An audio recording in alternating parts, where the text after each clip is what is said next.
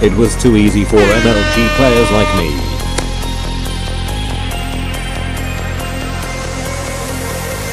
So I decided to play without these faggots items.